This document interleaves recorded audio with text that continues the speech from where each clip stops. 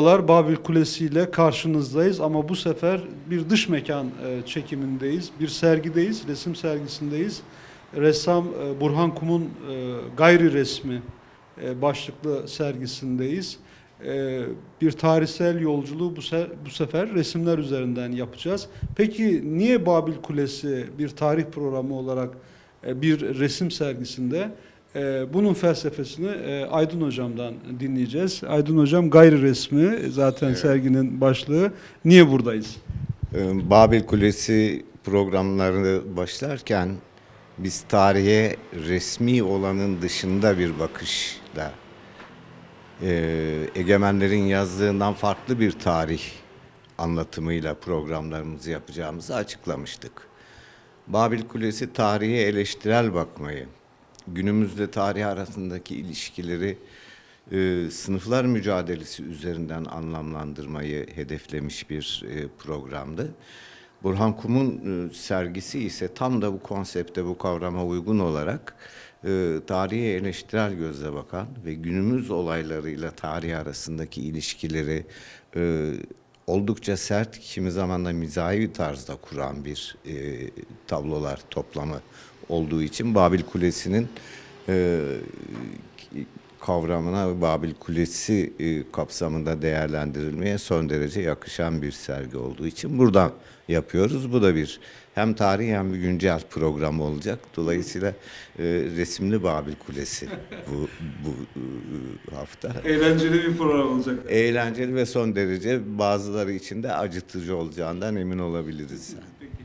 Ee, Burhan Hocam bizi ağırladınız. Çok teşekkür ediyoruz. Ee, Çok önemli bir çalışma imza attınız. Serginin hikayesini alacağız ama önce Burhan e, Kum kimdir? Biz e, izleyicilerimize biraz kendinizden bahsedin lütfen. 1962'de İstanbul'da doğdum. Darüşşafaka Lisesi'nden mezun oldum. Daha sonra İstanbul Teknik Üniversitesi elektroniğe girdim. Yoksul bir aile çocuğunun e, iş güvencesi olsun diye ama karikatür çiziyordum Cumhuriyet Gazetesi'nde ve bu görsel alanla uğraşmak istiyordum. Sonra zaten bir iki yıl sonra bu okulun bana uygun olmadığına karar verdim, hissettim. Senede 1981, e, 12 Eylül faşizminin en yoğun yaşandığı yıllardı. O sırada akademiye girerken sakal tıraşınız bile kontrol ediliyordu yani kapıda. Yani bir arkadaşın dedi ki ya sen burada okuyamazsın zaten yani. Ya atarlar ya kavga edersin yani. E, Bizim yapımızda var öyle bir şey. Gel dedi Hollanda'ya. Ben dedi Hollanda'da yaşıyorum. Hollanda'ya götüreyim seni. Orada okula git. Götürdü hakikaten ve orada akademi sınavına girdim. Orada akademiyi bitirdim. 84 ile 89 yılları arasında. Sonra da 95'te yani orada da tabii 91'den sonra duvarın yıkılmasıyla ki ayrı bir şeydir yani Sovyetlerin dağılmasıyla yani sosyal devlet bitip tamamen bir e, liberal faşizm şu anda yaşanan görüyoruz zaten Avrupa'da. Bir sistem kurulmasını hissettiğim zaman ben dedim bari bir mücadele yapacağım onu ülkede devam ettireyim. Onun için 95'te Türkiye'ye geri döndüm. O, o gün bugündür e, resim yaparak hayatımı sürdürüyorum. Hı hı. E, Kısaca tarihe ilgi e, nasıl doğdu? Ya tarihe ilgi zaten siyasi bir e, Evet. kimliğimizden doğdu. Yani siyasetle uğra- Evet. uğraşan bir insanın tarihsel bir e, çerçeveden dünyaya bakmaması mümkün değil yani. Evet, Sonuçta peki. zorunlu olarak getiriyor. Peki e, döneceğim size ama e, gayri resmi bu gayri resmide Aydın abi siz nasıl bir e, yorum yaparsınız? Gayri nereye oturuyor, resmi nereye oturuyor? Gayri resmi aslında bir kalıp deyimdir. Yani resmiyet dışı demektir. Devletin bakış açısından farklı olan egemen e, hakim devlet e, anlayışının dışında olana gayri resmi deriz. Bu kıyafeti de kapsar. Gayri resmi bir kıyafette geldi mi? Kravat takmamış mesela. Ona da gayri resmi dersin ama burada sanıyorum kendisiyle konuşmadım. Resimle de ilişkili bir gayrilik var burada. Ee, Kesinlikle. alışılmış ben hemen resim, burada e, araya alışılmış girebilirim yani. resimlerden farklı. Tablo değil, ne bileyim işte alıp evine kolayca asıp e, dekora uydu mu uymadı mı diye bakabileceğiniz bir resim değil. Bu resim anlayışının da gayrisi olduğu için uygun bir isim diye düşünüyorum. Türkçe'de katılıyorum yani kesinlikle. Yani bunu fark eden çok fazla kişi olmadı. Aslında gayri resmi İngilizceye çevirirken unofficial diye çevirdik ama burada büyük bir hadım ediliyor bu gayri resmi isim. Çünkü gayri Arapçada başka öteki anlamı da var yani. Burada bir başka ve öteki resim de söz konusu ama bunu tercüme etmek zor. Ancak bu dile vakıf bir insanın keşfedebileceği şey. Burada bir ikili anlatım var yani. Hem başka bir resimden gizlenen, örtülen, gösterilmeyen bir resim üzerinden tarihi yazıyoruz. Hem de bize resmi tarihin anlattığının dışında bir resim yazıyoruz. Burada resim dili üzerinden resim bir merkezi araç olarak ifadenin e, temel aracı resim. Ve öteki resim yani. Bize gösterilmeyen, kaybedilen. Şimdi bu arkadaki resim, e, yaratılış, biz Osman Hamdi Bey'i konuştuk. Zaten bir program yaptık Evet. bunun üzerine. Doğrusu ben kendi adıma hep slaytlardan işte yani internetten bakarak e, gördüğüm bir şeydi ama böyle karşımda görmeyi hiç e, tasavvur edemiyordum. Bunu gördüm. E, bunların hikayesini konuşacağız ama bu sergi e, fikri nereden doğdu? Çünkü sanırım bunun adı da 115 e, 115 yıl. Evet. 115 yıl. Biz de 100. yıl programları da çok yaptık aslında. Yani Osmanlı'nın, Türkiye'nin ya da Avrupa'nın, dünyanın son 100 yılı. Ee, bu açıdan e, oldukça ironik yani e, son 100 yıl tarihini tartışmak bakımından da. Nasıl doğdu bu sergi? Nasıl Oradan- doğdu? Tam da sizin programınızdan doğdu. Çünkü geçen yıl e, Babil Kulesi Osman Hamdi ile ilgili bir program yaptı. Ben de onu izliyordum. E, orada e, bu tablodan e, mihrap olarak bahsedildi. Çünkü mihrap olarak biliniyordu adı zaten de. Fakat ben bu tablo ile ilgili bir iki makale okumuştum. Aydın abiyi sonra aradım. Dedim ki ya onun aslı adı asıl adı yaratılış ve şu anda kayıp bu tablo yani. Aydın abi çok il- ilgilendi ve yüreklendirdi ya bununla ilgili bir yazı yazsana dedi yani. Bunu bir dergide paylaşalım. Birincisi bu. O yazıyı yazarken resimle ilgili bayağı bir detaylı bilgiye ulaştım. İkinci Aydın abinin bu sergideki ikinci önemli e, katkısı Utanç ve Onur adlı kitabın içinde Ermeni ressamlar bölümünü benden yazmamı istedi. Ya bu benim için e, çok onur verici bir şeydi ve ilk defa ben de ucundan kıyısından bildiğim bir meselenin üzerine e, içinde derinleşme imkanı buldum. Ve tabii e, Ermeni ressamları araştırırken Ermeni ressamların Osmanlı resim tarihi içinde ne kadar büyük bir rol oynadığını ve Türk tarihi içinde ne kadar yok sayıldıklarını fark edince dedim ki yani aslında bizim tarihimiz resimlerin yok edilmesi, kapatılması, örtülü, örtülmesi üzerine kurulmuş. Yani bir ressamın buna cevap vermesi lazım. Bu iki noktadan çıkarak aslında e, bu sergiyi oluşturdum yani. Evet. Ee, şöyle bir şey söyleyeyim e, Aydın Hocam size. Sonra yaratılıştan başlayalım, Burhan Kum'dan dinleyelim. Ee, ben Evrensel Kültür'deki yazınızı da okudum. Ortak miras, e, müzeler meselesi. Ee, bunlar e, izleyicinin, e, insanların karşısına gelemiyor. Saklanmış, akıbeti de tam olarak bilinmeyen e, eserler. E, Biraz bu eylemde yani bu tür sergilerde e, yeniden bu eserlerin herkesleştirilmesi gayreti var mı? Elbette var da keşke o amaca e, ulaşabilsek. Yani işte çok da e, ulaşılabilir bir, bir mekan değil burası. İnsanlar çok kolay e, gelip izleyemezler. Belki işte biz bir yerlerinden dürtersek birilerini çağırır getirirsek görebilecekleri bir yerde.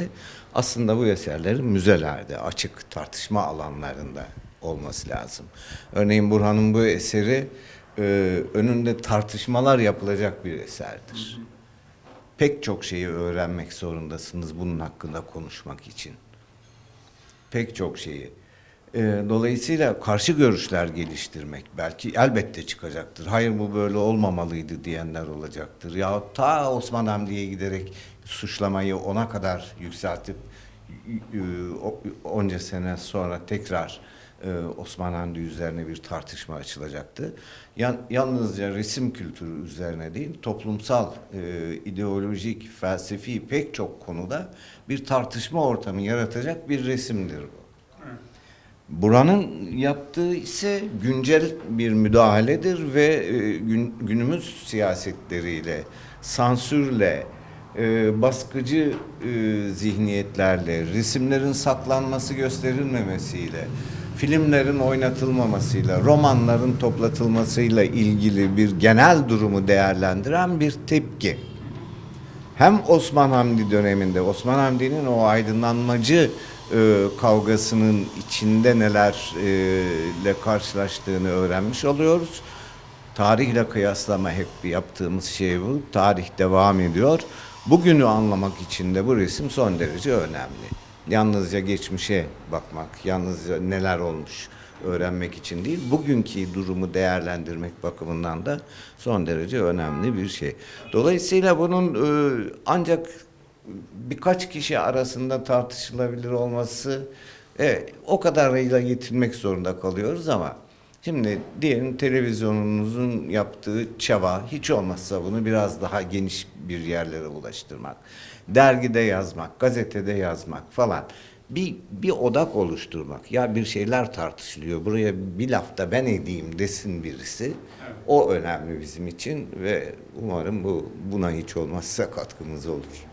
Burhan Hocam kaç e, parça eser var burada? E, Şimdi içeride 16 Toplam parça. 16.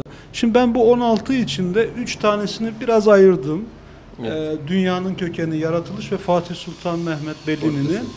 Ee, o üçünün ne özelliği var? Birkaç cümleyle alayım sonra e, yaratılışın öyküsünü dinlemek istiyorum. Üçünün ortak özelliği, üçünün de aslında ikisi bu topraklarda üretilmiş. İkincisi de e, yaradığı şey dünyanın kökeni de bir Türk diplomatı tarafından ısar, ısmarlanmış. Onu da Türk resim tarihi içinde sayıyorum. Bu ikisi yurt dışında, biri ise kayıp. Yani üçü de bu toplumsal tartışmanın dışında tutulmuş. Aydın abinin dediği gibi. Aslında resim Batı modernizminin temel e, bileşenlerinden biridir yani. Louvre olmadan Fransa'yı, e, burjuva, burjuvazinin Fransa'daki iktidarını anlamak mümkün değildir yani. Çünkü görme üzerinden insanlar eğitilir, görme üzerinden ideoloji inşa edilir yani. İşte zaten bunun bilincinde olan bütün e, devletler onun için resmi hem kullanmak istemişlerdir kendi araçları, amaçları doğrultusunda ama kendi işlerine gelmeyen bütün resimleri de yok etmek istemişlerdir. Sanki tarihimizde hiçbir Ermeni ressamın olmaması gibi yani. Çünkü onların varlığının ifşa edilmesi soykırımın bir şekilde reddedilemeyecek hale gelmesidir de yani. İşte bunun tarihi Peki. şöyle. Sizden dinleyelim evet nasıl başladınız? Osman Hamdi ne anlatıyordu? Siz Osman Hamdi şimdi Neler yaptınız? 1901'de ya Osman Hamdi tabi sadece ressam değil bir arkeolog olarak e, güzel sanatlar fakültesini kuran kişi olarak bir toplumun kültürel e, yapısında son derece önemli rol oynamış bir aydın. Yani 19. yüzyılın sonunda 20. yüzyılın başına kadar neredeyse bütün e, memuriyet hayatı da 2. Abdülhamit'in saltanatı döneminde gerçekleşmiş. Yani son derece büyük baskıların olduğu Osmanlı'nın devamlı daralma ve küçülme tehlikesiyle karşılaştığı Birinci Dünya Savaşı'nın hazırlandığı yıllarda Osman Hamdi resim yapıyor ama ilk başta Osman Hamdi e, oryantalist olarak tanımlandı sanat tarihi ve e, sanat tarihinin dışında tutuldu. Yani e, çok önemli bir ressam olmadığı hep söylenmiştir Osman Hamdi ile ilgili. Çünkü böyle bir resmi yaptığından çoğu kişinin haberi bile yok yani. Bu resim gerek e, hiçbir şekilde izlenmeye açılmış olmaması, gerekse üzerindeki e, tehlikeli alanlarla e, temas etmesinden dolayı konuşulmamış olmasından dolayı Osman tarih, Osman Hamdi'nin tarihinde de doğru dürüst değerlendirilemedi. Şimdi bu resmin 1971'de Mustafa Cezar'ın kitabındaki reprodüksiyonundan başka elimizde bir e, örneği yok. Resmin nerede olduğunu çünkü 1992'de resim şaibeli bir şekilde ortadan kaybediliyor.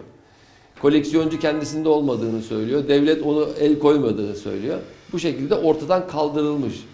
Şimdi birincisi bu resmin önemi şurada. İlk kez Osman Hamdi çok açık ve net bir şekilde e, bin yıllık bir düşünce sistemi üzerinde fikir beyan eden, müdahale eden bir resim. Yani bir düşünce resmi. Yani Türk modern çağdaş sanatının başlangıcıdır bu resim. O zaman bu resmin kaybedilmesini daha e, derinlemesine incelememiz gerekir. Neden e, önemlidir? Önce onu anlatalım yani. evet. Zaten ben bu resmin kaybedildiğini duyduğumda, okuduğumda ya dedim nasıl olur böyle bir şey? İnadına ben resmin aynı boyutta e, reprodüksiyonundan yararlanarak e, görebildiğim renklerinden kopyasını yapıp sergileyeceğim. Bir kere bu Osman Hamdi'ye yapılan büyük bir haksızlık. Bir e, bir ressamın ustasına sahip çıkmasıdır. Fakat yaptıktan sonra tabii üzerine düşünmeye başladım. Şimdi bunu böyle sergileyeceğiz ama yani Yani birebir kopyanın aslında benim anlatmak istediğimi yeterince anlatmadığını düşündüm. Çünkü bunun arkasında bir gömme, bir karartma, bir yok etme de var. Yani 115 yıllık bir sansür var. Bunu nasıl ifade ederim diye düşünürken Mehmet Güler Yüz'ün kitabında e, bir pasaj okudum anılarında. Orada diyor ki ben diyor resmin orijinalini 1980'de adı bende saklı olan bir koleksiyoncuda gördüm. O orada bile diyor resmin altı bir perdeyle kapalı olarak gösteriliyor. Neden? Çünkü burada bazı dini kitaplar var. Kur'an-ı Kerim, işte Bu- Budistlerin kitabı, Zerdüşlerin kitabı. Kadın rahleye oturmuş. Bunu Mehmet Gülerze bile önce kapatmışlar ama sonra açıp göstermişler. Daha sonra o da nerede olduğunu bilmiyor resmin. Şimdi ben bunu yapayım. Bu perdeyi müdahale etmek ondan sonra, eklemek ondan sonra aklıma geldi. Ama ondan da yeterli sözü söylediğimi düşünemiyorum. Üzerine çalışıyorum resmi yani. Evet. Yani benim özelliklerimden biri bir resmi sırayla arka arkaya yapmam ben. Aynı anda atölyede 5 6 7 tane resim üzerine sürekli çalışmaktayımdır. Araştırırım, üzerine düşünürüm. Eklemeler yaparım, çıkarmalar yaparım. Ee, yani bir e, organik yapı gibi sürekli kendini e, değiştiren, yenileyen bir hal halindedir sergi yani. Sonra Osman Hamdi'nin e, arkeolog olduğunu bildiğim için şöyle bir fikir geldi aklıma. Resmi şasiden sökeyim, katlayayım çünkü bu yüzyıllardır gizlenmiş bir resim. Toprağa gömeyim. Toprağa gömdüm. Onun için buralarda hala toprak izleri vardır. Bir hafta beklettim.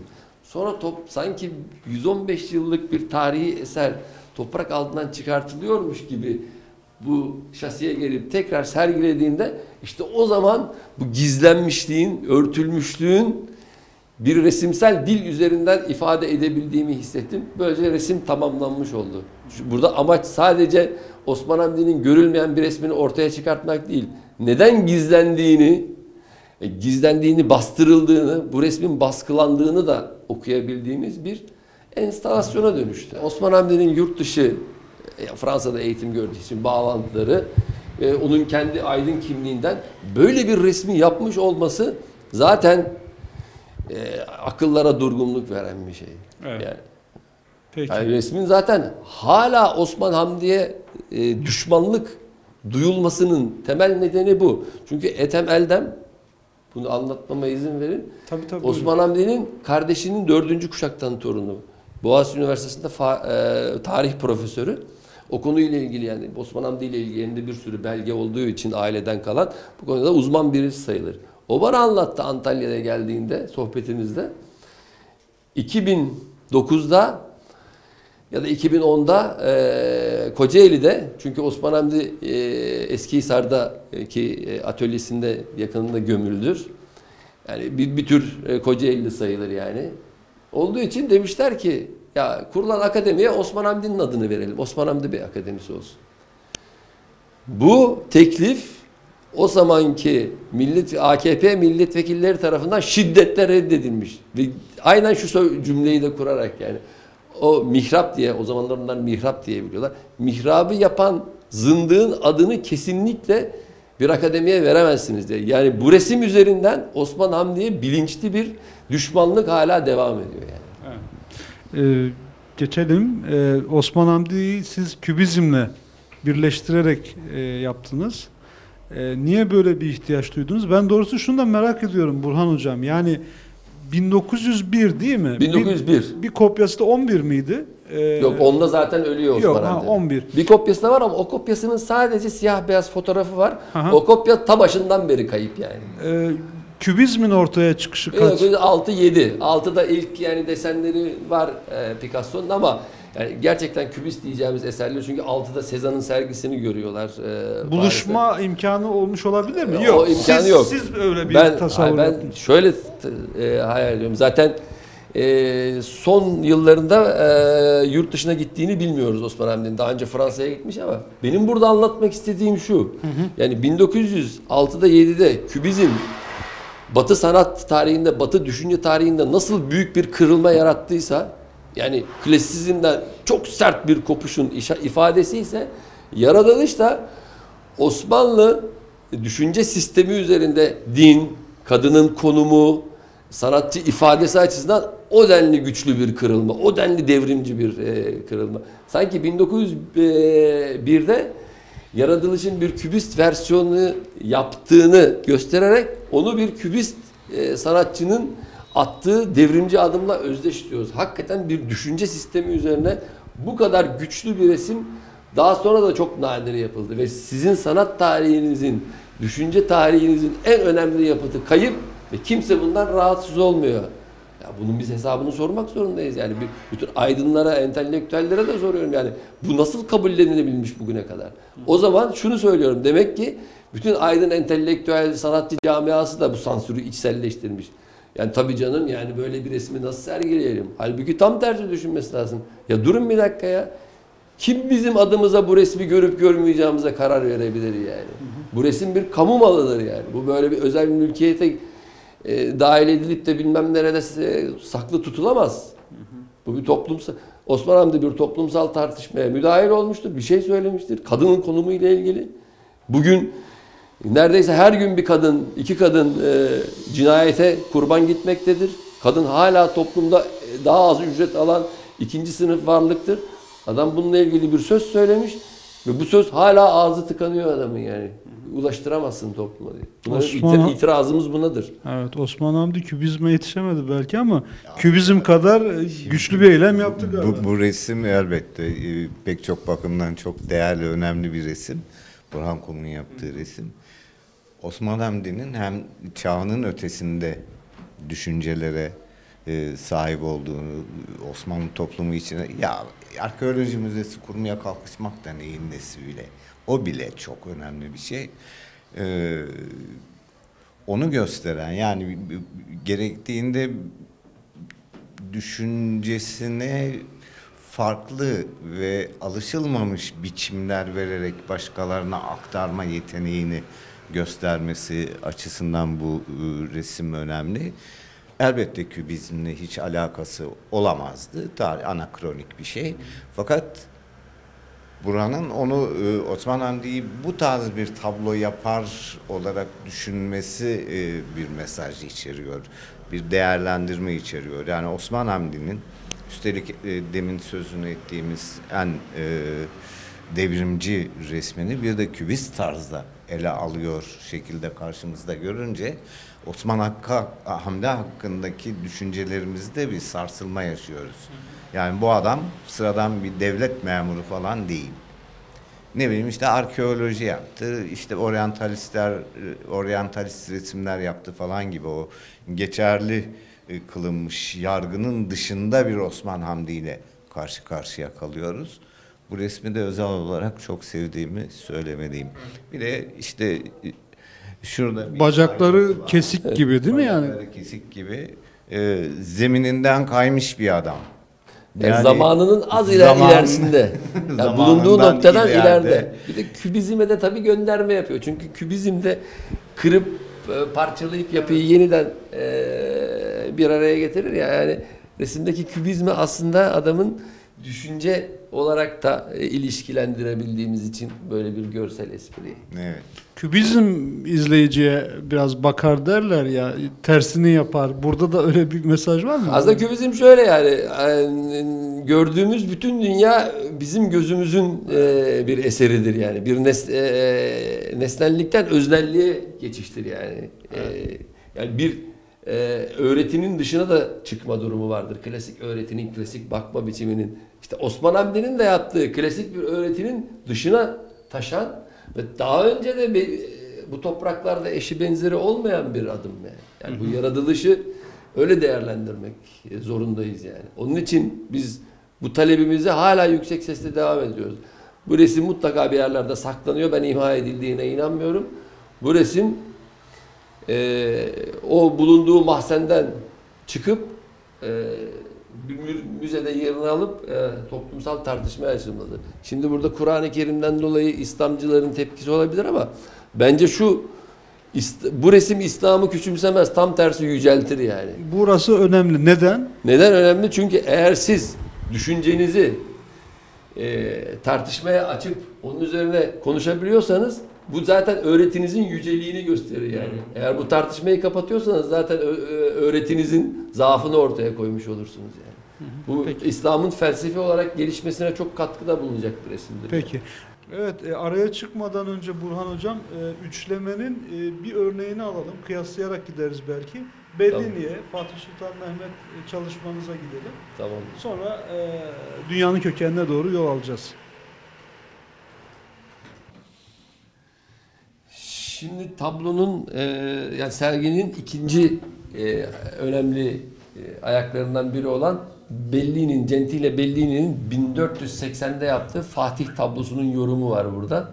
Bu da birebir boyuttadır. Resmin şu anda orijinali e, İngiltere'de National Gallery'de. Türkiye'deki bırakın e, sıradan insanları ressamların bile yüzde doksanı resmin orada olduğunu bilmiyor. Bilenler de neden orada olduğunu merak etmemiş yani. Ben bunu 1990'larda İngiltere'de gördüm. İtiraf edeyim ben de merak etmedim. Hatta böyle dedim ki o bizim Fatih'in portresi o zaman böyle bir yoz milliyetçilikli tablolara kadar gelmiş müzeye girmiş ama sonra ya nasıl olur dedim yani. yani bir imparatorluk elindeki böyle bir sanat eserini yani İngilizlere mi satmış yani? Çünkü bunun özelliği şu. Bu topraklarda yapılmış ilk yağlı boya ilk portre ve birebir yani canlı modelden yapılan ilk portre yani.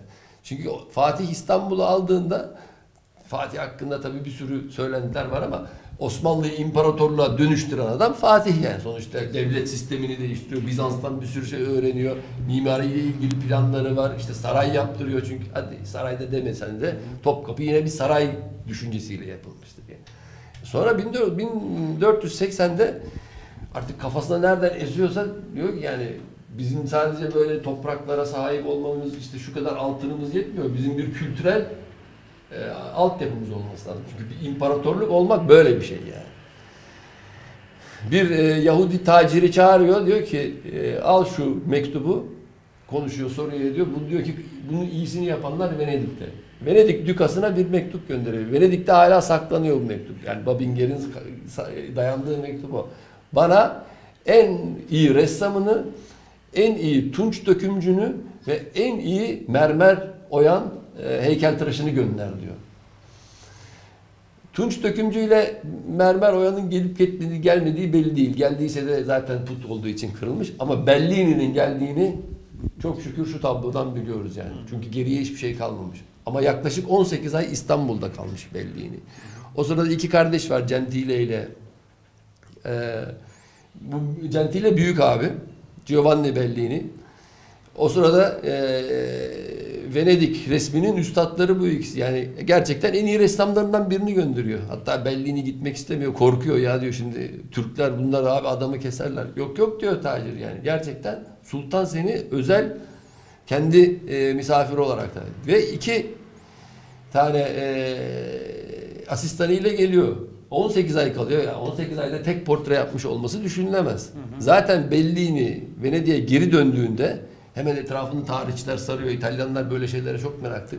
İstanbul'da ne yaptın, ne gördün, ne değiştirmişler, Ayasofya yerinde duruyor mu? Hepsini anlatıyor Bellini onlara.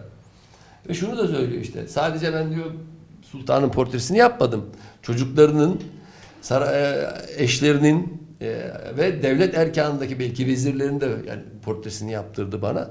Yani büyük bir portre galerisi kurdurmuş herif 1480'de. Artı Topkapı Sarayı'nın duvarlarına freskler yaptık diyor ve harem dairesine de şehvet nesneleri, objeleri olan resimler yaptık. Yani pornografik de olabilir, erotik de olabilir. Buna itirazlar var tabii ya böyle bir şey olmamıştır diye ama bunu neye dayandırıyoruz? Bellini'nin İtalyan tarihçileri anlattığından Babinger yararlanıyor. Yani Babinger'in ciddiyetinden ben şüphe etmiyorum. Bence bu yaptırıl yap, yapmıştır Fatih bunu yani. Çünkü elimizde sonuçta bu resimde olmasa Bellini'nin geldiğini de ispat edemeyeceğiz yani. Siz burada ne anlatıyorsunuz? Ne anlatıyoruz? Fatih 1482'de öldüğünde, muhtemelen zehirlenerek öldüğünde söyleniyor ya. İkinci Beyazıt, e, ulemanın ve e, kendisi de zaten son derece sofu birisi yani. Babası gibi hiç düşünmüyor. Derhal e, duvardaki resimleri kırdırıyor. E, haremdeki ve e, sarayın içindeki freskleri kırdırıyor. Diğer resimleri imha ediyor. muhtemelen babasının, atasının resmini imha edemediği için, cesaret edemediği için Venedikli tacire diyor ki al bunu buradan götür diyor. Ucuz bir miktarda veriyorlar ve Venedik tacir Venedik'e götürüyor resmi. Çünkü Fatih şirk koşmuş. Yani dinin burada temel bir e, fonksiyonuyla karşılaşıyoruz. Bir ilerleme düşüncesinin önündeki nasıl bir engel oluşturduğuna. Şirk koşmak ne demek? Çünkü Allah sözde bize diyecek ki e sen kendi portrenin resmini yaptırdın ama can verebilecek misin? Sen benim işime ortak mı oluyorsun? Şirk mi koşuyorsun diye bir düşünce var İslam'da yani. Be- Onun için- Beyazıt'ın da galiba e, kaldırması şirk gerekçesiyle açıklanıyor. Zaten resmin adı da şirk. Neden flu? Çünkü artık bu resim bizim görüş alanımızın dışında. Bir de uzağa görememekle de ilgisi var yani.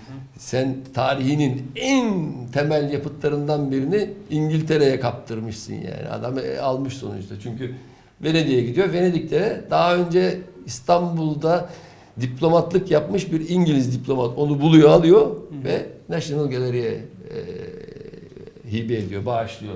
Şimdi Yüce Rabbim sen bizi affet. Altındaki yazı evet. Bu benim yorumum. Evet. Bunu ikinci Beyazıt da söylemiş olabilir. Çünkü babam büyük bir günah işledi. Ya sen bizi affet güzel. Ama bunu bugünden biz de söylemiş olabiliriz. Evet. Biz tarihimizin en önemli yapıtını korumaktan aciz bir toplumuz yani. Evet. Bu sefaletimizin de temel nedenlerinden biri bu. Peki dünyanın kökenine gitmeden burada Ay- Aydın hocam şöyle 5 asır öncesine götürdü Burhan Kum bizi. Evet. 535 yıl galiba değil mi? Evet. Ee, 115 yılda öncesi yaratılışta vardı. O ikisi arasında nasıl bir e, bağlantı kuruyorsunuz? Bence Fatih ile Osman Hamdi arasında gerçekten bir e, dünyaya bakış benzerliği var. Fatih Osmanlı tarihinin hatta bütün eğer öyle bir şeyden söz edilebilecekse Türk tarihinin en önemli iki şahsiyetinden biridir. Yani toplumu ilerletme, başka bir toplum yapma derdinde olan yöneticilerden biri. Çok fazla yaşayamadı. Belki demin Burhan'ın da söylediği gibi muhtemelen zehirlenerek öldürüldü. Öyle bir ihtimal var ve bence güçlü bir ihtimal. Ee, şöyle bir e, değerlendirme yapabiliriz. İstanbul'u almak yalnızca bir kenti zapt etmek, onu ele geçirmek değil. Bir medeniyetle yüz yüze gelmek anlamına geliyor. Tarihte bir kural vardır. Ee, Geri olan toplumlar kendilerinden ileri olan üretim ilişkilerini yıkabilirler başka bir şey ama e, onun yönetimini yıkabilirler fakat kendileri o üretim ilişkilerine o kültüre e, teslim olurlar. Zapt edenler zapt edilirler, fethedenler fethedilirler. Fatih o fethedilmeyi hissetmiş ve daha ileriye götürebilmek e, düşüncesine sahip olmuş padişahlardan biri. Mesela Roma gibi bir hedefi var adamın. İstanbul'la da yetinmiyor. Roma imparatoru olmak istiyor. Yalnızca Doğu Roma'nın imparatoru olmakla Bizans'ı ele geçirmekle Doğu'nun imparatoru ama o Batı'yı da istiyor. Merkez Roma'yı da istiyor.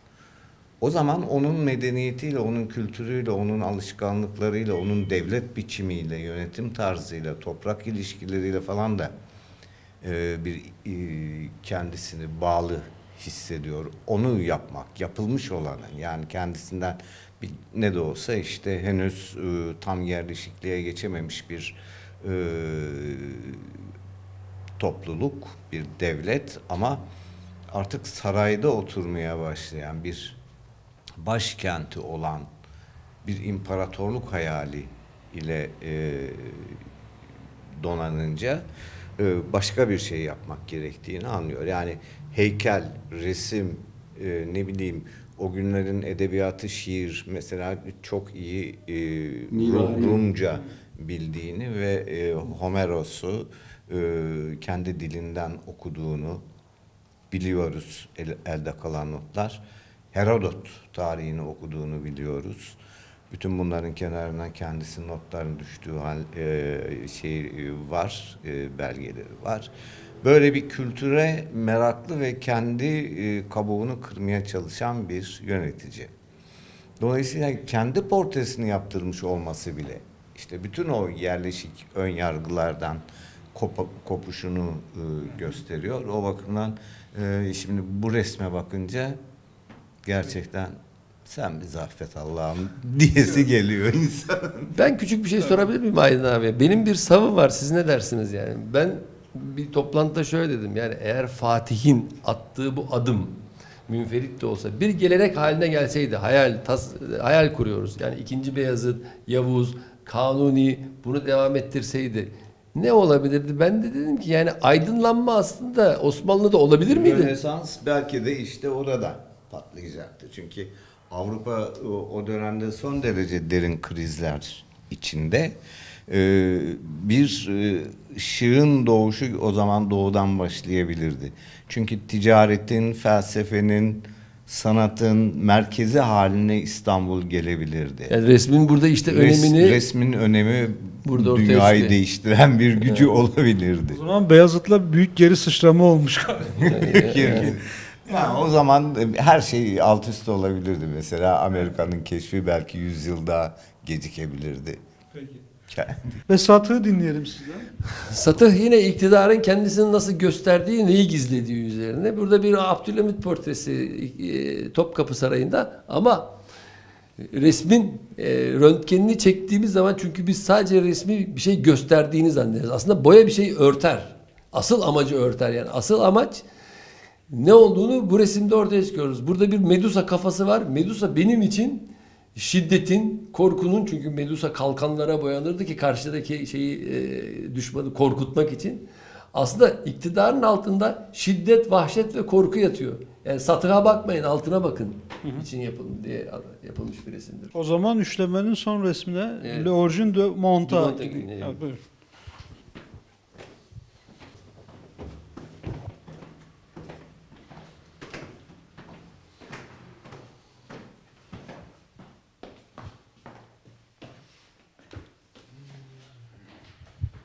Evet, e, Burhan Kum, e, burada bir çerçeve ve perde görüyoruz. Gustav Colbert'in resmi tabi gösteremiyoruz burada ama hem diğer iki çalışmayla paralelliği nedir hem de e, Colbert'le bağını nasıl kurdunuz? E, ne anlatıyorsunuz bu çerçeve ve perdeyle? Aslında resmin orijinalini gösteremememiz zaten bu serginin meşruiyet kaynaklarından biri haline Bence geldi. izleyiciler Gustavo Corbe adını girerek resmin orijinaline internetten ulaşabilirler. Bizimle başımızı belaya girmekten korumuş olurlar. Zaten merak edip gireceklerdir. Evet, dünyanın kökeni 1866'da yaptığı bir resim Kurbe'nin. Bu resim e, Kurbe tabi realizm akımının e, kurucusu, öncüsü, onun teorisyeni. Ama kendi geleneğinde de böyle bir resim yok. Bu resmi neden yapıyor? Çünkü o sırada e, Paris'te bir diplomat olan Halil Şerif Paşa var. Halil Şerif Paşa daha önce Petersburg'da diplomatlık yapıyor ve Çar'la yakın dostluğu var. Zaten Mısırlı bir ailenin kökeninden geliyor. Mısırlı olması Osmanlı'nın modernleşmesinden daha önce Mısır'ın modernleşmesi var yani. Zaten böyle bir e, geleneğin içinden gelen bir adam. Petersburg'da da Çar'ın koleksiyonunu görünce sanatın bir devletin, bir toplumun inşasında ne kadar önemli olduğunu anlıyor. Paris'e tayini çıkınca Paris'te hemen ressamlarla ilişkiye geçiyor. Kurbeyle dost oluyor. Beraber kağıt oynuyorlar, içki içiyorlar, muhabbet ediyorlar sanat üzerine ve o resmi ısmarlıyor. Şimdi o resmi ısmarlaması sanat tarihinde de bir devrim yani. Batı sanatında da öyle bir resim yok daha önce. Ama bunu Halil Şerif Paşa'nın ısmarlamış olması o resmi bizim resim tarihimizde de merkezi bir yere oturtuyor. Zaten resmin orijinalini internette görenler neden görülemediğini anlarlar. Ama sanatın şöyle bir boyutu vardır. Sanatın biz iki anlamı vardır bir resmin. Bir e, gördüğümüz tarafı bir de gerçek anlamı. Çünkü gördüğümüzün gerçekle aslında ilgisi yoktur. O resim aslında gösterdiği şeyi anlatmaz. Başka bir isyanın, başka bir başkaldırının resmidir yani. Onun için çok önemli bir resim. Fakat insanlar yüzlerce yıl onun gösterdiği e, noktayla ilişkilendikleri için resim gösterilememiş. Hatta Halil Şerif Paşa'nın sadece Gustav Kurben'in o resmi değil, başka ısmarladığı resimler de var. Lezbiyen kadınlar resimleri de var şu anda Amerika'da. İşte Delacroix'dan resimler satın almış. Engre'den resimler satın almış. Ee, o sırada Fransa'da aktif olan bütün sanatçılardan 109 parçalık devasa bir koleksiyon oluşturmuş 2 yıl içinde. Aile zenginliği de var tabii. Onun da kaynağıyla ve bu e, İstanbul'a tayini çıktığında e, o zaman e, Padişah Abdülaziz biliyor Abdülaziz e, hafiyeleri aracılığıyla sakın resimleri getirme diyor yani. Bütün 109 parçalık koleksiyon yok pahasına Paris'te bir müzayedede satılıyor. Şu anda öyle bir koleksiyonu bir araya getirmek milyarlarca doları bulur yani. Böyle bir yani böyle bir birikim yok ediliyor yani. Tekrar yok ediliyor. Ortadan kaldırılıyor. Şimdi ondan sonra Paris'teki e, hayat öyküsü zaten o da 120 yıl gösterileniyor resim. E, perdeler arkasında gizleniyor. En son Fransız e, psikanalist Lacan'ın koleksiyonunda çıkıyor. Lacan bile onu 30 sene Paris'teki evinde değil, e, Fransa'nın başka bir bölgesindeki dağ evinde saklamak zorunda. Perdenin arkasına gizleyerek saklamış. Hatta daha sonra üzerine başka bir e, Evet. e, sürrealist versiyonunu yaptırmış. Ama perde burada çok önemli yani. Bu Perdeden resimde buraya perde- gelirsek, Evet, evet. Perde gizlenmiş. Yani bir örtülme durumu var bu resim. 1980'de de Lacan öldüğünde Fransız devleti çünkü Fransız devletinin bir burjuva geleneği var. Onun Louvre'un kurulmasının altında da bir burjuva öğretisinin halka e, halkı terbiye etme işlevi var. Bunda sanat çok önemli rol oynuyor yani. Fransa'yı biz sadece işte sömürgeciliği, savaşları üzerinden anlatamayız. Yani Louvre'u anlamadan zaten Fransa'yı anlamak mümkün değil yani. O zaman ne yapıyor Fransız devleti? Diyor ki e, babanızın devletimize 500 bin frank vergi borcu var. Eğer tabloyu Fransa devletine bağışlarsanız vergi borcunuzu affedeceğiz diyor ve kamu mülkiyetine alıyor onu. Ve şu anda Müze Orsay'da sergileniyor. Hatta açılışını Fransız Kültür Bakanı yapıyor. O ilk sergileneceğiz orada.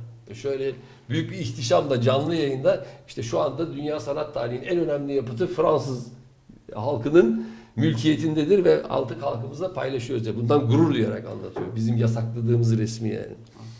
Şimdi burada anlatmak istenen hikaye şu. Biz hala şu anda yaşadığımız toplumda perdeyle uğraşıyoruz. O resmi hala perde arkasında. Aslında değişen hiçbir şey yok. Gösteremiyorsun resmi yani.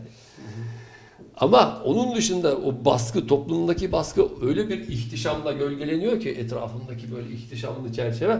Ama asıl eee müstehcenlik o sansürün bir ihtişamla sergilenmesinde.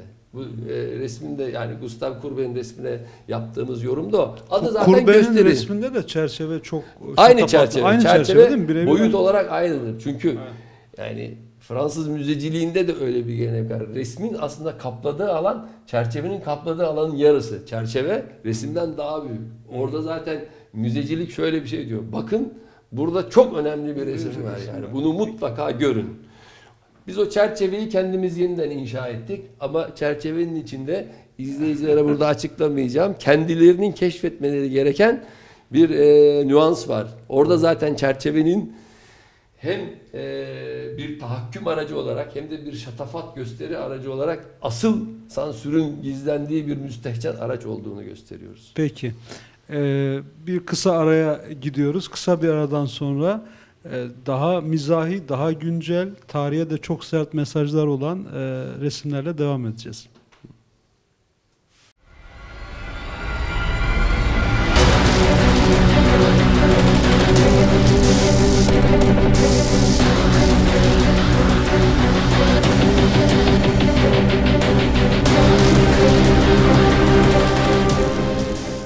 Babil Kulesi devam ediyor. Burhan Kum sergisindeyiz. Şimdi ikinci bölümde biraz resmi tarihin sert eleştirileriyle geçen resimlere bakacağız. Üzerine konuşacağız. Ee, evet. Bu resmin adı e, Burhan Soy Hocam. Ağacı. Soy Ağacı. Aydın Hocam e, ben sizden bir ön değerlendirme isteyeceğim.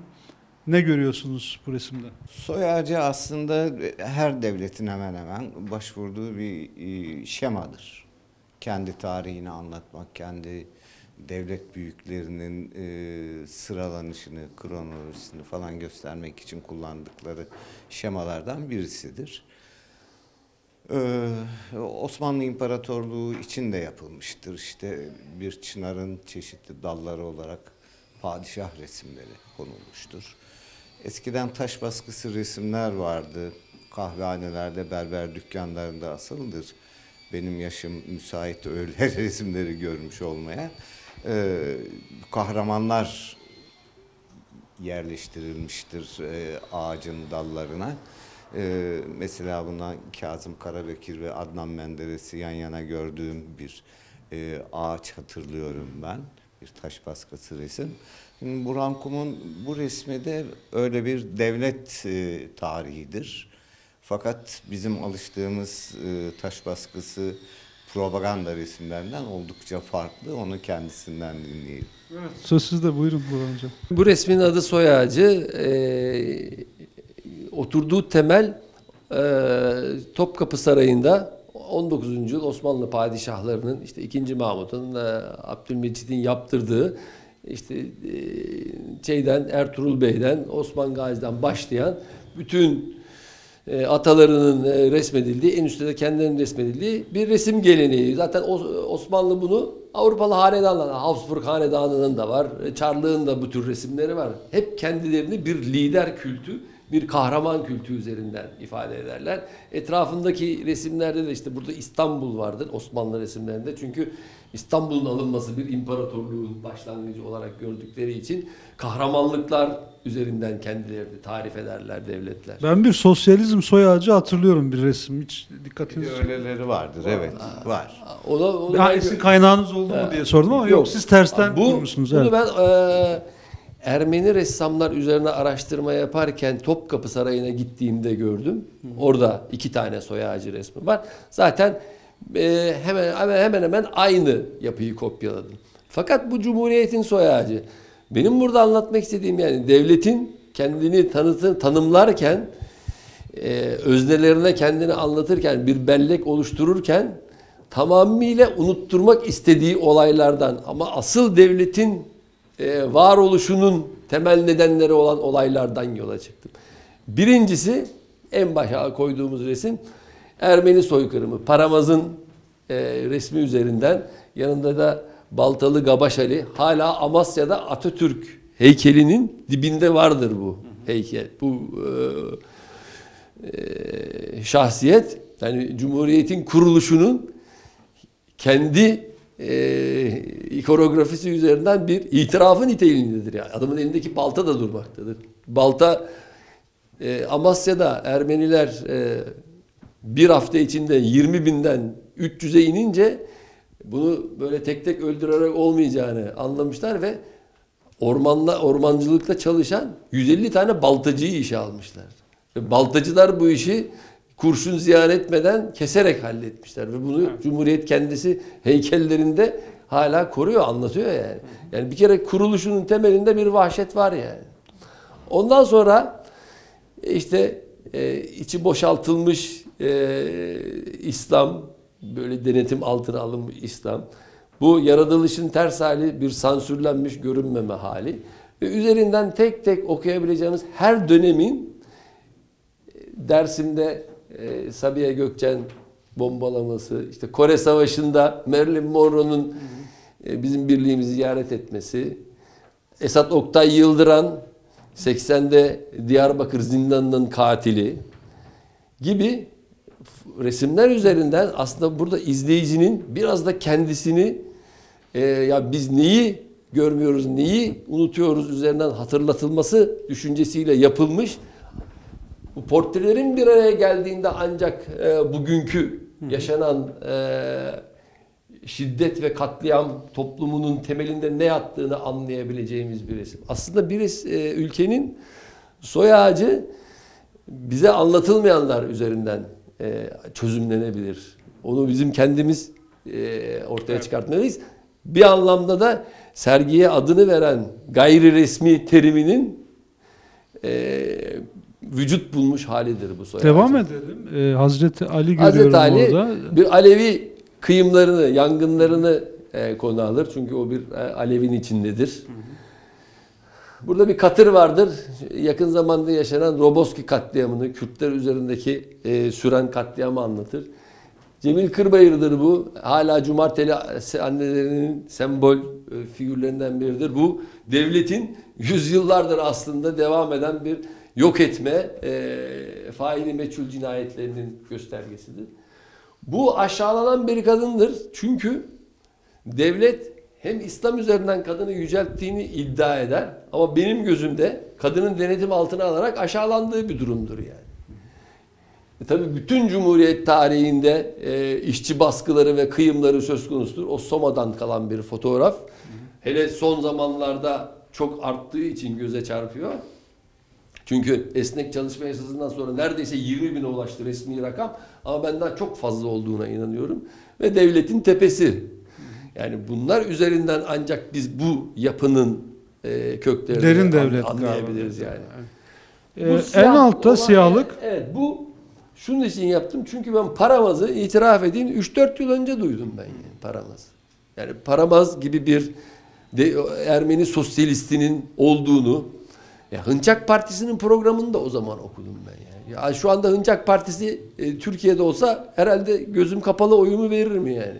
Çünkü hiç anlattıkları gibi böyle bölücü falan değil. Tam tersi Osmanlı entegrasyonlu işte halkların kendi dilini kullanmasını, kadınlara eşit ücret verilmesini, çocukların çalıştırılmamasını söyleyen gayet aklı başında demokratik bir e, programı olan bir parti. Ve bu adamlar vahşice e, Beyazıt Meydanı'nda asıldılar yani. Bunu biz daha yeni duyduk. Yani utanç verici bir durum aslında. Yani utanç ve onur kitabı hakikaten onun için uygun bir isim yani. Bunu bizim yeni duymamız utanç verici bir olay.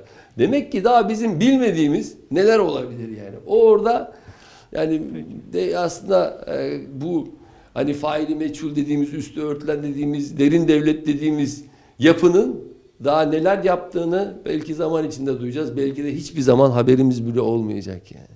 Peki e, Aydın Hocam e, ağaç kesik e, dipte bir toprak değil de taş sütun var. Evet, bir betonun üzerine yerleştirilmiş. Yani e, benim yorumum e, bu ağacın aslında e,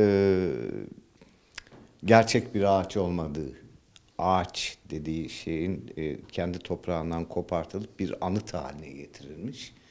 Fakat anıtın iç yüzü çok övünülecek bir şey değil.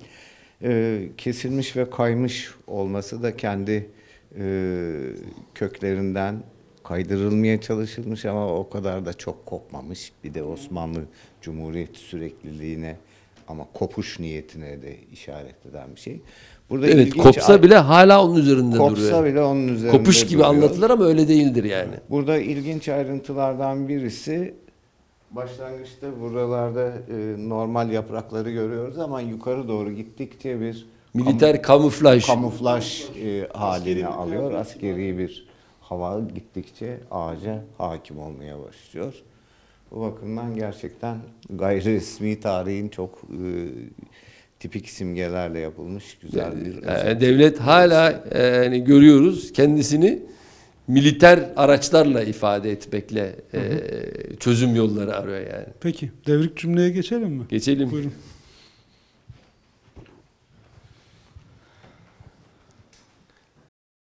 Resmin adı devrik cümle. Ee, bunun için e, Hakkı Zer için katkısını da ifade edeyim. Çünkü Hakkı Zer sıfır kitabınla ilgili bir söyleşisinde devrik cümle tadında bir hayat yaşıyoruz dediğinde kafama dank etti yani. Aslında tarihin, Türkiye'de tarihin yazımı tamamen bir devrik cümle gibidir yani. Yani her şeyin tersine döndürüldüğü, bazen de kamera obscura diyorum ben. Kamera obscura her şeyin tersinden görüldüğü karanlık oda demektir yani. Hem karartılmış bir tarihle karşı karşıyayız hem de her şeyin tersine döndürüldüğü bir tarihle karşı karşıyayız. Bu ikinci Mahmud'un bir resminin e, ilham alan yapıt. Aslında arka fon aynen kopya edilmiş. Önünde ikinci Mahmud duruyor elinde kılıçla. Fakat ben burada e, padişaha tak, e, ter- devrik cümle haline getirdim. Ters çevirdim yani. Çünkü bugün bir Osmanlı'nın ihtişamının ayaklandırılması, işte fetihçi zihniyet, onu İslami bir görüşle desteklenmesi, devletin direği benim, ben gidersem devlet gider denmesi, öyle bir yapay ihtişamın sunulması, tarihin geriye çevrilmesinin ne kadar büyük bir e, komedi, sefalet olduğunu, bu sefaleti de zaten ayaktaki çoraplardan görüyoruz yani. Bir kültürel uyumsuzluğun da e, ortaya konduğu bir durum. Çünkü hani bütün uzun tarihi bir tarafa bırakalım. Son 15 yıla baktığımızda ortaya konan tek bir kültürel e, tez yok. saçma sapan bir Osmanlı Selçuklu sentezinin iğrenç mimarisi hiçbir yazar, sanatçı, ressam, e, sinemacı yetiştirilememiş ve bütün bu yapı sadece ve sadece militer bir e, e, e, zorbalıkla, polis şiddetiyle, gazla, e, mermiyle ayakta tutuluyor. İşte bu bir devrik cümle halidir yani. Aydın Hocam kılıçla ters duruyor o metafor olarak. Yani bütün e, aslında kontrolünü kaybetmiş bir biçimde tek el üzerinde amuda kalkmış. O aslında bir marifettir ama burada tumanı mumanı sıyrılmış vaziyete gelmiş olması da e, mizahi dozunu artıran bir şey. Peki. E, Burhan Hocam şimdi e, devrik cümle iki galiba bu değil İki. mi? Birde de şöyle gösterebilirim. Arkadaşlar alabilir.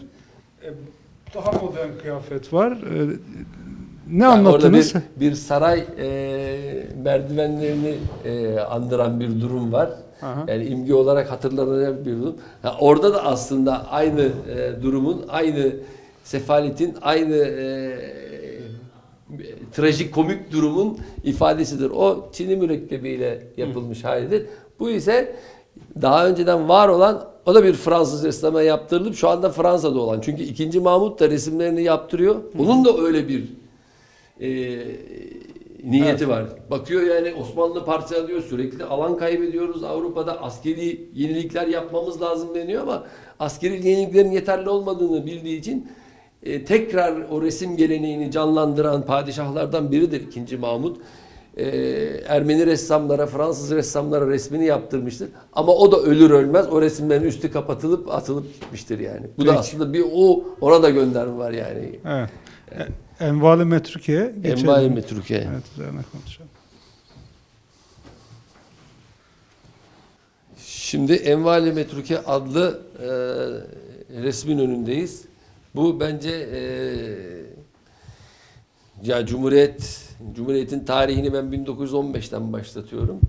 O tarihin en e, üstü karartılmış, üzerine konuşulmayan e, olaylarından biridir. 1915'te Ermeniler kıyılıp sürüldükten sonra hemen bir kanun çıkartılıyor. Kanunun adı Envali Metruke Kanunu terk edilmiş mallar demek. Sanki Ermeniler mallarını gönüllü bir şekilde terk ederek Derzor'da tar- tatile gitmişler gibi yani. E madem bu mallar terk edilmiş bunu biz satalım diyor. Satı işte alelacele düzenlenen müzayedelerle e, yerel eşrafa ve e, bürokrasiye işte kaymakamlara, mutasarrıfa mallar satılıyor. Nevzat Onaran'ın kitabında bu çok net ortadadır. Arkasından bir kanun daha çıkartılıyor. Bu mallar asıl sahiplerine kesinlikle verilemez diye. Yani Ermenilerin Ermenilere şunu diyor ya bu topraklarda kendinize bir gelecek hayal etmeyin bundan sonra.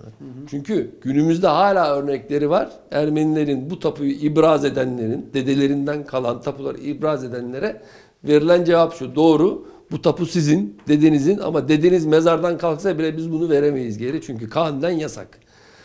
Şimdi burada Bir müzayede müzayededen salın. yola çıkıyoruz. Çünkü müzayedenin merkezinde resim var. Çünkü günümüzde artık müzayede deyince akla hemen gelen resim müzayedeleridir. Antikada vardır ama resim müzayedeleri günümüzde çok önemli bir e, unsur.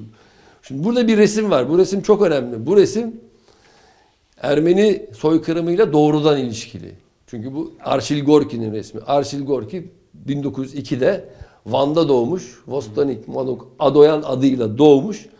Bir Osmanlı e, tebaası Ermeni'nin 1926'da Amerika'da yaptığı bir resim. Çünkü 15'te e, Van'da e, Van'dan sürülüyorlar ama Van'dan sürülmeden önce annesiyle daha önce Amerika'ya gitmiş olan babasına göndermek için bir fotoğraf çektiriyor. O fotoğrafı gönderiyorlar Amerika'ya. Tabi annesi ölüp açlıktan ölüyor bir de yani e, sürgünde. Çocuklar babalarının yanına gidince kız kardeşiyle o fotoğrafı tekrar alıyor Gorki. Tabi o sırada 24 yaşında bir delikanlı ve bundan 10 yıl önce annesi açlıktan ölmüş. Bir daha hiçbir zaman geri dönemeyeceği topraktan yadigar kalan neredeyse tek eser yani tek. Hayatı boyunca 48 yıllık zaten kısa bir ömrü olmuştur. 48 yaşında intihar etmiştir.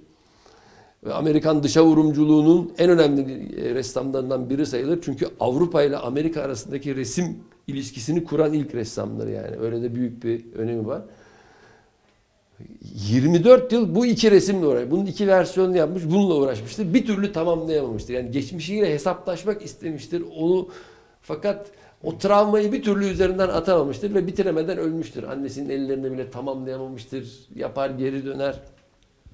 Şimdi 1926'da Amerika'da yapılmaya başlanan bir resim 1915'te e, Türkiye'de nasıl satılmış olabilir? Burada e, ana Kur'an'ı var. İşte yine gerçeği hiçbir zaman bulamayacağımız yer ve zamanda aramadan kastım bu yani. yani burada Talat Paşa'dır zaten müzayedeyi yöneten. E, bütün bu resimler parça parça bir yerlerden alınıp kopyalanmıştır, buraya yapıştırılmıştır. O eğretilik de hep burada görünür zaten yani. Çünkü buradaki amaç şudur. Bize anlatılan tarih sürekli inşa edilmiştir. Bir yerlerden alınıp cımbızlanıp isteklerine göre bir araya getirilmiştir. Yani tarih aslında bir kurgudur yani. Ama burada anlatılmak istenen o kurgu üzerinden ben de yeniden kurguluyorum. Ermenilerin bu topraklardaki geleceği satılmıştır. Bunu biz bir ressam ve resim üzerinden anlatıyoruz yani. Bunun için envali metruke müzayedesi dedik burada. Ee, Aydın Hocam burada e, çarpıcı olan bir konu da e, satılan bir resim. E, sadece mallarını, mülklerini, topraklarını, yurtlarını değil ama bir e, sanat ve kültür tarihini de kaybetti belki Ermeniler ama bu müzeyede salonunda satılma esprisinden yola çıkarak sanatta ve kültürde Türkiye ne kaybetti, biz ne kaybettik? Şüphesiz yani Burhan Kum'un çok güzel özetlediği gibi bir gelecek satılmıştır. Bir gelecek kaybedilmiştir. Aslında bir halkın yok edilmesi yalnızca fiziki olarak insanların yok edilmesinden ibaret bir şey değildir. Onların yarattığı her şey yağmalanmış ve yok edilmiştir. Hadi yağmaladın diyelim bir yerlerde sakla bir yerlerde görmemize izin ver. O bile olmamıştır. Kiliseler uçurulmuştur, dinamitlenmiştir, yıkılmıştır. Taşlarından kimi zaman ev, kimi zaman cami yapılmıştır ama kilise artık parça parçadır, yoktur. Bir araya getirilmesi imkansızdır. Burada geleceğin satılmış olması, geleceğin yağmalanmış olması çok güzel bir imgeyle e, yansıtılmış. Özellikle Arşil Gorki'nin seçilmiş olması çok anlamlı. Gerçekten büyük bir ressamdır ve bu Anadolu çocuğunun e, yaşadığı trajediyle birlikte tarihin bize anlatılmış olması da ayrıca etkileyici, son derece etkileyici bir şey. Burada faili ve maktulü bir arada görüyoruz. Maktul burada yalnızca Ermeni halkı değil, bütün bir e, bu toprakların geleceğidir. Kaybedilmiş olan odur. Birlikte yaşadığımızı, birlikte ürettiğimizi, birlikte bir medeniyet kurma becerisi gösterdiğimizi düşünebilsek, Kürt, Ermeni, Rum, Türk, bütün hepsinin katkısıyla yaratılmış bir medeniyette yaşamak bir bunu hayal edelim. Bir de şimdi içinde bulunduğumuz çoraklığı, kuraklığı, boşluğu görelim. Ee, kıyaslamak için son derece önemli ipuçları içeren bir resim. Bir şey ekleyeyim. Yani bir ressamın atölyesini, fırçalarını, boyalarını gasp ederek onun kültürel birikimine sahip olamazsınız. Yani sermaye birikimi, sermayeyi ele geçirmek o kültürel birikimin doğrudan size geçmesi değil. İşte kaybedilen bu kültürel birikimdir yani. E, bir de şöyle yani göz altında kayıplar e, yabancı olduğumuz bir şey değil Türk siyasi tarihinde ya da faili meçhul cinayetler ama göz altında kayıp resimler, göz altında ya da faili meçhule giden resimleri gördüm ben doğrusu bu sergide. Evet. Yani e, katliamın çeşitli boyutları bu. De- Dediğim gibi yani fiziki olarak insanların yok edilmesi. Ama bir yandan da onların düşüncelerinin, duygularının, hayallerinin yok edilmesi. Bütünüyle bir soykırım oluyor bu. Peki. Evet şimdi diğer bölüme, son bölüme gidelim. Biraz mizah, biraz farklı stiller ve teknikler ve yine sert eleştiriler göreceğiz. Buyurun.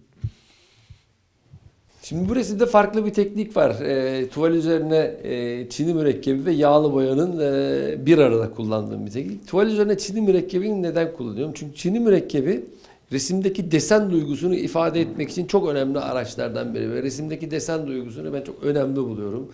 Çünkü e, doğrudan ifade edebilmenin e, ve en az e, araçla e, e, düşünceyi aktarabilmenin yöntemlerinden biri. Bu zaten sanat tarihinde de çok kullanılmıştır. Yani.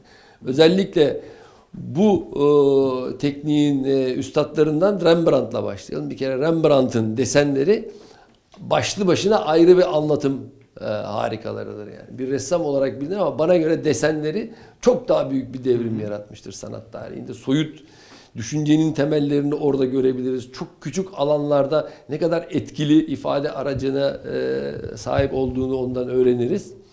İkinci örnek aldığım kişi Goya'dır. Çünkü Goya'nın kapriçoları da bir desen geleneği içinde görülür ama orada tabii büyük bir hiciv e, dönemin e, düşünce sistemine çok e, ustaca bir eleştirisi vardır.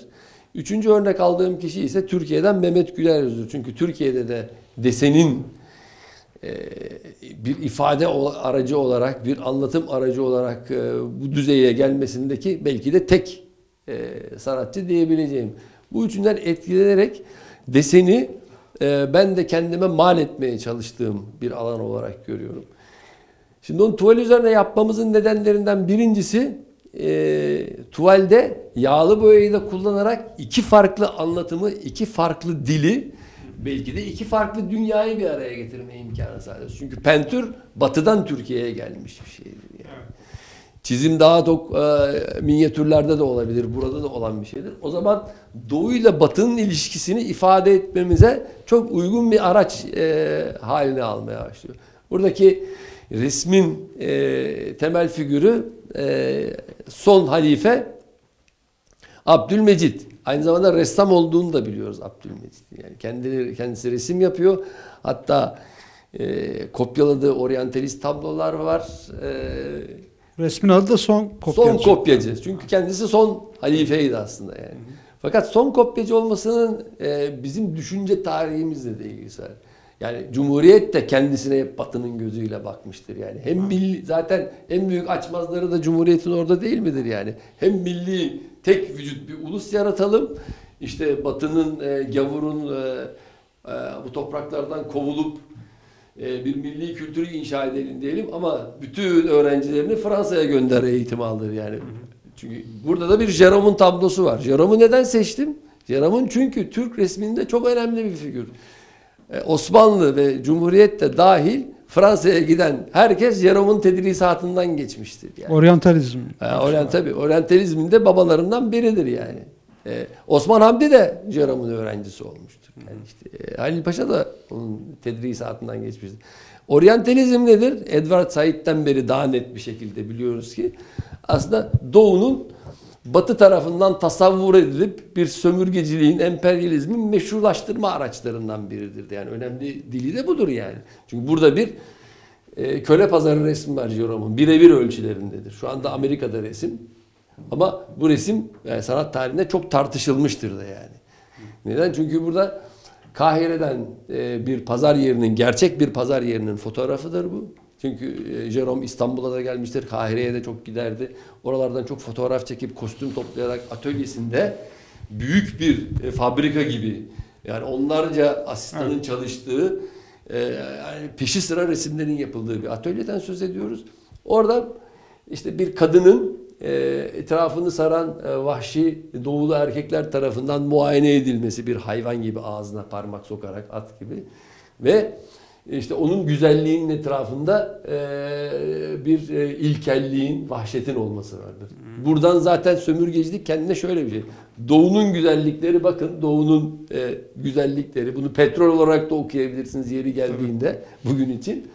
Böyle vahşi yaratıkların elinde. Şu anda da öyle değil mi? Televizyona baktığınız zaman işte Irak'taki petrol bir faşist diktatör olan Saddam'ın elindeydi. Yani Saddam ondan 10 yıl önce onların en büyük kankasıydı yani gerek olduğunda işte ya da işte e, şu anda IŞİD denilen bir e, vahşi yaratıklar ordusu, sakallı, kafa kesen adamlar oradaki doğal zenginliklerin üzerinde oturuyor. Buna nasıl göz yumacağız? Dolayısıyla sömürgeleştirmenin Ha, meşrulaştırılması var. Meşrulaştırılmış hali. Bu resim böyledir yani. Son kopyacı da onu mu kopyalıyor? Ha, Son kopyacı onu kopyalıyor yani. Sen ona kendi kendi eee, kültürüne onların üzerinden bakarak onların temeli üzerinde inşa etmeye çalıştığın zaman böyle Peki. bir pespaya duruma düşüyoruz da yani. İşte oradaki şeyde pe- yani işin içindeki mizah unsuru da o. Orada Peki. bir eee, insanları durumun üzerine yeniden bakmaya zorlamak. Bir de iki ayrı tekniğin e, işte uyuşturmaya çalışılması yani biz hem doğulu olalım hem de biraz batılı olalım. Batının tekniğini alalım ama ahlakımızı kaybetmeyelim derken içine düştüğümüz trajikomik durumun ifadesidir. Zaten kopya ettiği kısım Kareler de o. Yani o Ha. çok dikkatimi çekti. Ha. Kareleme de. Karelemede orada kadının aşağılandığı yeri kopya ediyor yani. Çünkü bu toplumun tamamının yapısında böyle bir şey var. Kadın hala bütün toplum için ikinci sınıf bir varlıktır. Peki. yani. Aydın Hocam Goya, İspanya'da Goya, Goya da geçti sohbetimizde. Burhan Kum'la nasıl bir benzerlik var? Resim tarihinde e, sanatını bir e, hayat eleştirisi, siyaset eleştirisi, devlet eleştirisi haline getiren ressamlar çok azdır. Yani e, çeşitli işte saraya ait portreler, saray hayatına ait bir takım görüntüler falan resmetmekle beraber Goya mesela işte tımarhaneleri resmetmiştir. Savaş Fransa İspanya'yı işgale e, e, giriştiğinde e, her şeyi bırakıp savaş alanına gitmiş ve oradaki katliamları, kadınların, çocukların öldürülmesini resmetmiştir. Kaldı ki başlangıçta Goya mesela şeyin e, Fransızların İspanya'yı e, işgal ettiği takdirde İspanya'daki gericiliğin yıkılacağını düşünmekte ve beklemektedir.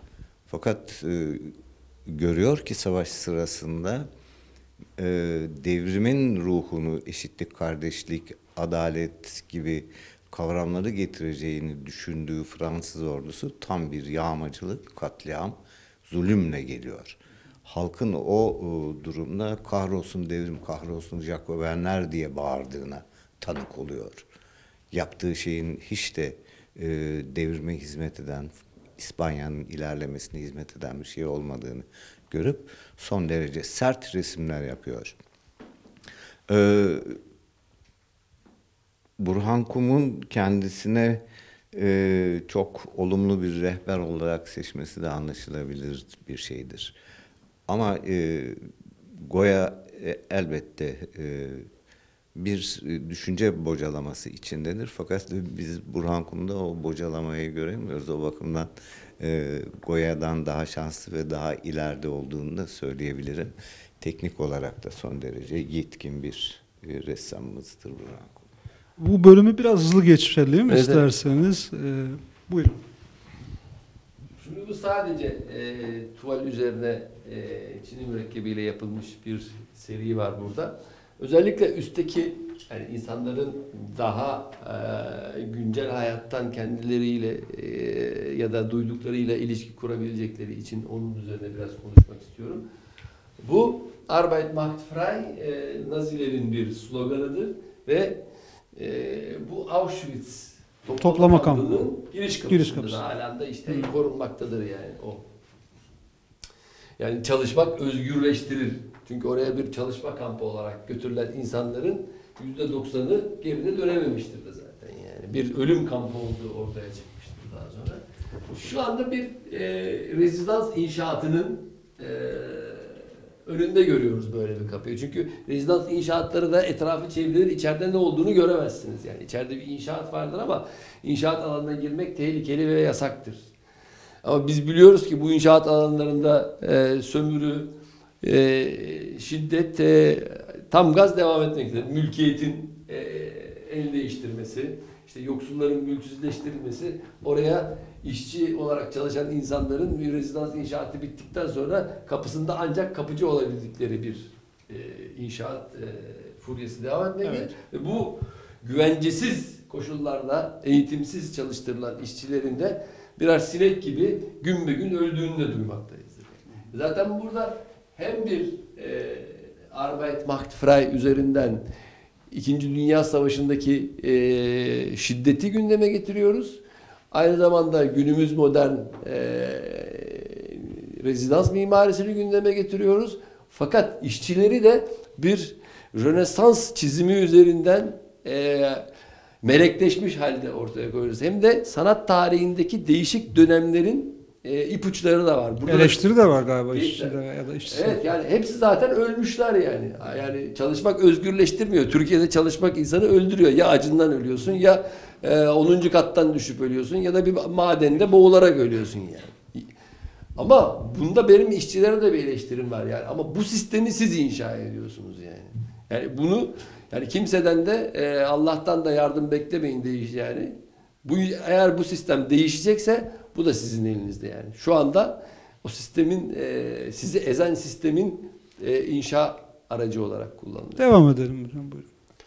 Ee, Bunun adı e, bir narsistin anatomisi. Narsist mitolojide kendi e, suretini suda görüp kendini beğenen bir e, mitolojik figürdür. Şu anda iktidarın aynı narsizm içinde olduğunu görüyoruz. Ben ne yapsam iyidir diye. Ama burada iktidar kendisini hem bir dinsel mit üzerinden kurbanı anlatıyoruz hem de o kurbanın kanında kendisini beğenme durumu var yani. Evet. İşte bu iktidarın anatomisi de bu. Bu e, göçmenlerle ilgili bir yani insanlık trajedilerinden biri de odur yani. İşte 17 bin kişi öldüğü söyleniyor e, Yunanistan'a geçmeye çalışırken boğularak. Ama tabii aslında o milyonlarca kişinin etkilendiği, Türkiye'de de milyonlarca kişinin etkilendiği, binlerce kişinin öldürüldüğü bir dramın parçası. Fakat Batı bunu bir 3 milyar vererek, 5 milyar vererek bir şey haline getirmiş. e, Bir pazarlık konusu haline getirmiş. Batı kendisini yine resim üzerinden tanımlamıştır. Mesela Batı'daki kahramanlardan biri nedir? Kristof Kolomb. Barcelona'da 100 metrelik e, kaide üzerinde heykeli vardır. Çünkü Amerika'yı keşfeden adam. Sanki daha önce Amerika'da kimse yaşamıyormuş da onlar keşfetmiş gibi anlatılır. Ve o yüceltidir o figürü. Ama aslında kendisi de bir e, ilticaidir yani. O da yani nasıl Suriyeliler e, bota binip hayatlarını kurtaracağı başka bir ülkeyi insani bir nedenle arıyorlarsa onlar da Avrupa'daki sıkışmış e, durumdan kurtulmak için bir e, çözüm yolu arıyorlar. O sırada diyorlar ki Hindistan'a gidelim. Hindistan'dan e, işte böyle dönerek giderek e, ticareti geliştirelim. Şeyi buluyorlar işte Amerika'ya tesadüfen düşüyorlar. Ve onun anlatısı üzerinden aslında ondan sonra yaratılan Batı tarihinin tekrar geri dönüp onları vurması. Yani şu anda Suriye, Paris, Şam oldu diyorlar. Yani Paris'e girdiğiniz anda, havaalanına indiğiniz anda silahlı bir ordu tarafından karşılanıyorsunuz yani. Ama bunun sonucu bu aslında 500 yıllık bir sömürgecilik tarihinin sonucudur. Ben diktatörken resmine geçmeden önce Kara Kutu'yu da dinleyelim sizden. Evet. Şimdi bazen bir resmi yapmak için beni e, tetikleyen bir cümle, kelime olabiliyor. Hakan Fidan e, milletvekili olmak istediği zaman e, dediler ki o Erdoğan'ın kara kutusu yani olamaz yani. Zaten milletvekilliği de iptal edildi tekrar MIT'in başına döndü yani. Böyle bir Türkiye'de şimdi bir kara kutu olma hali var yani. Bizim bilmediğimiz işte e, şu anda Sarraf iltica etti, yakalandı deniyor ama bana göre iltica etti. Arkasından hemen e, MİT Başkanı, e, Müsteşarı Amerika'ya intikal etti. Yani bizim bilmediğimiz ama tahmin de edebildiğimiz şeyler var. Şimdi iktidar kendisini e, her zaman e, portrelerinde yaptığı meziyetlerle anlatır yani. İşte e, bu 17. yüzyılda Hollanda'da çok yaygın bir e, gelenekti. İşte dükler, e, krallar, kraliçeler kendi gravürlerini yaptırırlardı. Etrafına da kendilerine göre e, başardıkları, topluma e, kazandırdıkları meziyet üzerinden yani. Burada bir kara kutu olma hali kendini gizleme durumu var. Zaten bir e, maskenin arkasında gizlenmiş. Ama burada iki tane Latince kelime, etrafına Latince kelimeler de yazıyor, yazılırdı. Burada inter arma silent leges yazıyor. Silahlar konuşursa kanunlar susar. Bugünü anlatan bir durum. Diğeri de summum jus summa injuria. Ne kadar çok kanun olursa o kadar az adalet olur. Yani bence Türkiye'deki şu andaki durumu bundan iyi anlatan bir şey olamaz. E, Etrafında da zaten e, bu iktidarın aslında bize göstermek istemediği ama biz onun nedenini bildiğimiz e, unsurlarını koyuyoruz. Ben diktatörken şimdi bu diktatör tartışması günde e, çok gündeme geldi yani. Diktatör- Bu sizsiniz değil Bu mi? benim yani. Çünkü ben kendim Portre olarak da. Tabii canım Evet, portre evet. olarak da kendimim yani. Evet. Yani Neden? Ee, neden kendi e, yani aslında yani başkasını da yani sen diktatörsün de diyebiliriz. Aslında hepimiz e, bu diktatörlüğün bir e, bileşeni halindeyiz yani. Onun e, dışında kimse kendisini o olayın dışında e, saymasın. Nasıl işçiler kendi cehennemlerini inşa ediyorlarsa biz de bu diktatörlüğün bir parçasıyız. Ama ben bu diktatörlüğü bir İstanbul gravürü üzerinden yani olayı biraz e, kendime mal ederek e, insanlara kendisiyle herkes kendisiyle yüzleşsin demek istiyorum yani. E, bu bir o 19. yüzyıl e, Osmanlı gravüründen esinlenilmiş. Bu e, büyük İstanbul yangınlarından birini konu ediyor. Oraya kadar her şey gravürden alınmış. Ama bazı şeyler fark ediyoruz işte. Büyük bir inşaat furyasını fark ediyoruz. İşte Sultanahmet'in arkasındaki yedi kule gökdelenlerini görüyoruz. Ülke alev alev yanıyor. Batıyor. Hatta batıyor ülke. Bombalar patlıyor etrafta. Ve bunu ayakta tutan bir e, militer faşist yapı var. Yani burada kurt her zaman Türkiye'de onun sembolü olmuştur. Bir diğer ayağı da domuz. Domuz da İslami haramın yani bir taraftan bir militer yapıyla bir taraftan da haramla ayakta duran yapı. O da işte deminki gibi kendisi renkli, arka taraf siyah beyaz. Aslında birbiriyle uyuşmayan, gerçeklikten kopmuş olma hala, havada uçan. Yani bir diktatörlük hayalini böyle bir şiddet üzerine kuran yapının gerçeklikle bağının ne kadar koptuğunu gösteriyoruz. Ve serginin son eserine geçelim. Buyurun hocam sizden dinleyelim.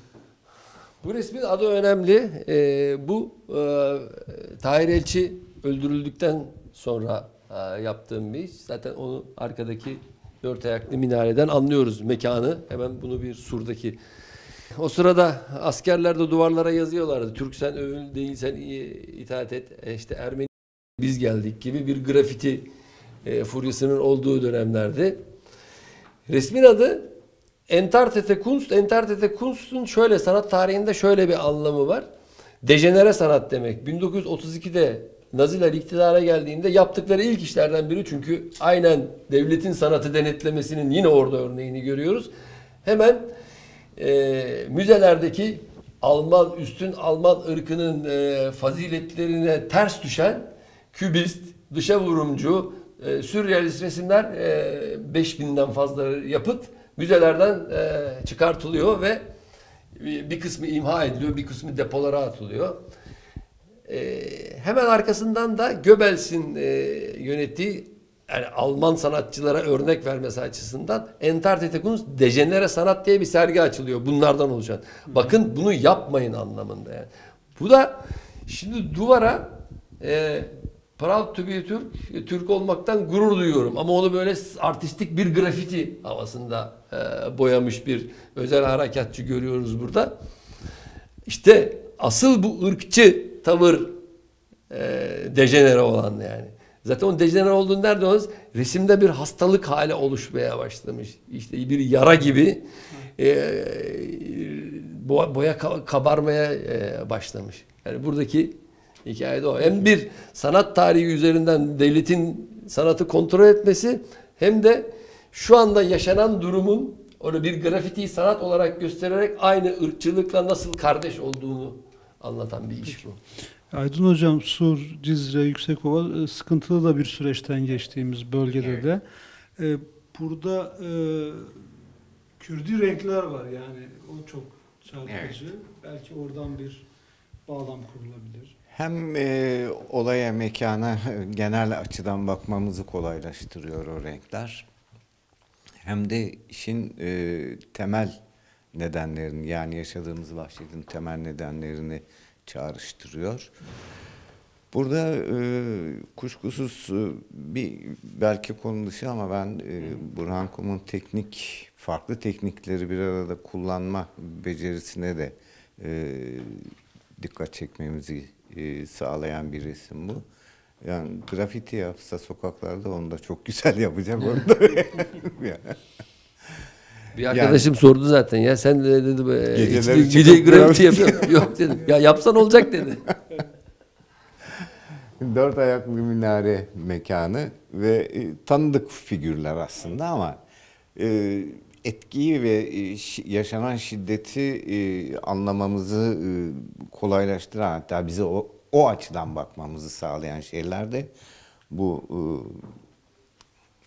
patlama izleri. Boya kabukları. Sanki bir yandan da şöyle de o e, yani bu bombayla parçalanmış insanların parçalarının duvarlarda nasıl yapıştığını ben Ankara Garı'nda gördüm.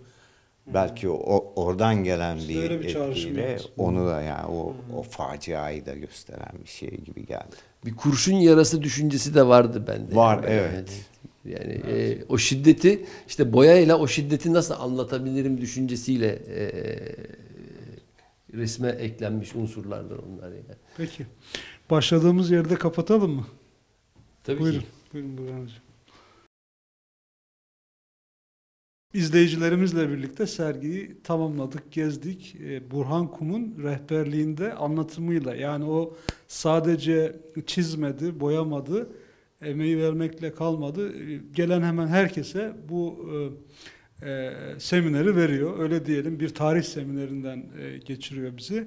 E, kapatırken yine e, yaratılış eserinin önünde başladığımız yerde kapatalım istedik.